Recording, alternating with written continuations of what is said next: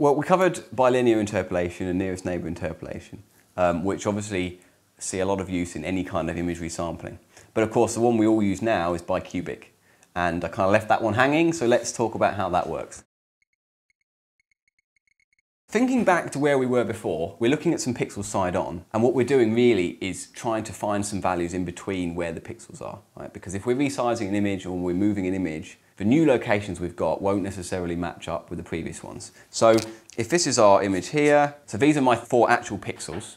Right, nearest neighbour will just sample between these pixels depending on which one's nearest. So it'll sort of go along like this, and then it'll go like this, like that, okay? Which is why you get these sort of square pixelated edges in nearest neighbour. That's very fast to do that. Um, and, as I said last time, we haven't made up any data doing that. This is a sample, this stretches to here in some ways, so, you know, that's good. Bilinear takes literally a linear interpolation between these points. So it'll be like this, and then this, and then this. Right? And then maybe this will go off in this direction depending on what the other pixels are. Now this works fine sometimes, right? but if we've got step changes, or weird areas of contrast changes and funny shapes, like maybe this goes up and then down suddenly, this starts to look not very smooth. It's quite a jagged edge. You could find it sort of would look a bit like a sort of pyramid shape and might look a bit ugly. Now, we have to remember that we're talking about between one or two pixels. So, you know, you've got to zoom in a long way for this. But on the other hand, if we can improve this, why wouldn't we? What linear interpolation does is take this value here this value here, and then find any of these intermediate values you want, depending on how far along you are. Bicubic does the exact same thing, except it does it in a much more smooth way, and it does it by knowing, first of all, where these two points are, and then two extra bits of information, which is what the orientation or the gradient at these positions are. So if we know that the gradient, let's use my blue pen, how about that? If we know that the gradient is here, and the gradient of this one is sort of this direction, we can kind of come in like that and make it a bit smoother.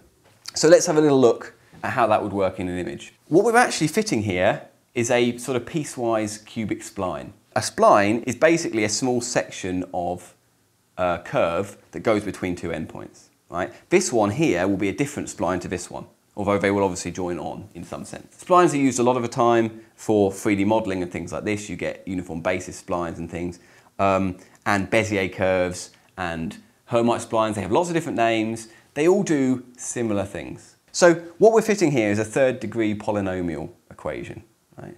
Now I'll, I'll, draw out the, the equation and then we'll leave it there. Right? The derivation of this maths is not absolutely complicated and we'll put a link in the description that you can follow along if you're, if you're that way inclined. But I'll try and talk a bit about more the intuition of how it works. So we've got a value here at x 0 we've got a value here at x1, and we're going between x0 and x1. And the value of y at this position is going to be some polynomial that we have to find, which is a x cubed plus b x squared plus cx plus d. There are four unknowns here. x we know because we're going between 0 and 1, so it's going to be some value between 0 and 1. These four unknowns. Now, given the gradients at these locations, or the derivatives, we can rearrange this formula in a fairly convoluted way and basically find out what a, b, c and d are. So what are A, B, C and D in this, in this equation? Um, well, you'll have to look at the formula. They're based on a combination of these positions and the derivatives of these positions. So for example, C is equal to x naught, right? That's a simple formula, but they get more complicated than that. Again, follow the link in the description if you want to know about these things. Um, but the way it works is that once we've rearranged the formula, we can find the position of any point between these two points based on only these two positions, and the two tangents. So the question then remains, how do we calculate these two derivatives? Right? How do we calculate the slope at these positions? That's fairly straightforward on an image because we know what this position is. So intuitively, if we're going from here to here and then to there, it's going to be sort of some way between the two. Right? So in essence, the derivatives or the gradient at these positions are going to depend on the next two pixels along.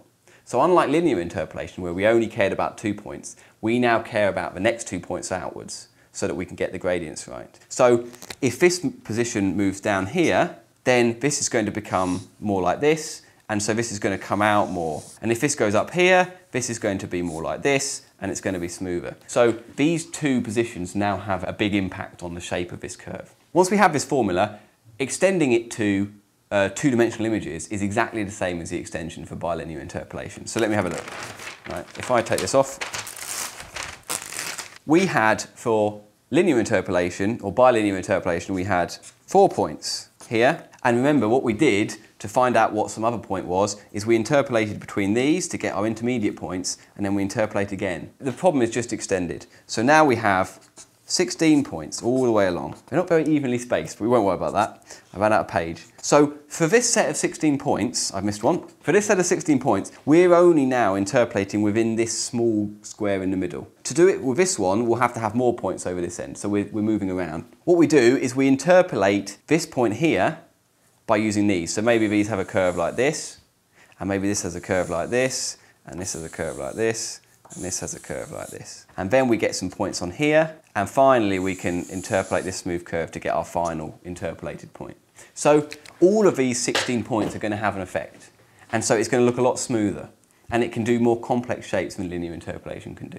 In actual fact, what we can do is we can combine this sort of one dimension followed by another dimension operation into one matrix multiplication. So it can be very easily optimized and performed very, very quickly. You can see that derivation on the web as well. I think I leave my Photoshop setting to auto. So yeah. is, is it always going to pick this though? Um, so I can't answer that because I haven't seen the source code for Photoshop, but almost always. So they might be doing something clever. There are times when bicubic isn't strictly better than bilinear. Right? It does some things that you wouldn't expect. So for example, if we have a sharp change in direction, so we have a pixel here, a pixel here, so we're looking at the pixels from the side again, and so a pixel here, and here, and here. Right, now, bilinear interpolation will sort of come along here and draw a nice line like this, right? Which might be a bit jagged, but actually is broadly representative of what this image does. Bicubic will actually overshoot these two signals. So it will come in like this, it'll probably undershoot here, depending on where the other one is, come up and go over these signals and down like this. Now, in some ways that's smoother, but actually that is now brighter than these pixels were. Now, maybe that's what the image did in that position, but I don't know, we're starting to make up a bit of data there. And also, if these are at maximum intensity, we clip this. So we have to go, all right, well, we, we can't go over 255 in the RGB, so we'll just sort of crop it there and get rid of that, right? Which is not ideal, and we, we do it here as well. Mm -hmm. So it isn't always ideal. Now, in most images, you aren't using necessarily the full range all of the time. You're not going between 0 and 255 all the time, sharply. So this hardly ever comes up in images, which is why it looks good. But it might, and if you've got a sharp change, sharp step change in intensity, you're going to see a little bit of overshoot, possibly, just beyond your edge, which you won't necessarily want, right? So if you see, if you have black to white or, or dark grey to light grey and you see a little bit of a peak, you know what it is, right? That's what bi, bi, bicubic will do. Remember, we're, again, we're talking about single pixels zoomed right in. So maybe, you know, only specific special images that you can't with yourself just to test it might, might show these problems. But they are there and they are something to bear in mind. It's very difficult for a firewall or something to notice this because these are valid HTTP requests, they're just super slow, right? And, um, you know, maybe I've just got a really bad internet connection, maybe. Yeah? Um, now, this doesn't affect every web server, it mostly affects Apache.